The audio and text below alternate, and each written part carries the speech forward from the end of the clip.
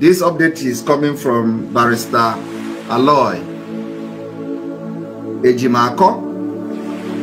And he just tweeted, I just exited, I just exited today's visitation. Aloy Ejimako tweeted, I just exited today's visitation with Mazi Namdi. Topics covered included the appeal pending before the Supreme Court and the latest cases I filed last week. The truth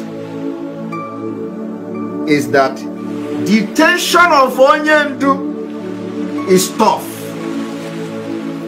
but Onyendu is tougher. Hey! Onyendu is tougher. Kita ka okwu bidoro. Onyendu is tougher. He asked, Onyendu asked all, all of you Biafra people to be as tough and maintain their position. Onye ka a na-akọ? Onyendu say this is for the very first time. Stand and maintain your position. Onyendu want us to be tough. And he don't need to tell me. if he tell me by this time to be tough, it means that I have failed. I have failed him. you don't need to tell me to be tough. Be tough. Etinyego mu, efolugo mu ntutu daa for this freedom. And to make sure that my word I gave to him, I will be the last man that will disappoint him.